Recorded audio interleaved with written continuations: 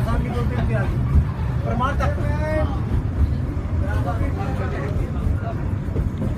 this is Asher. I'm on the railway.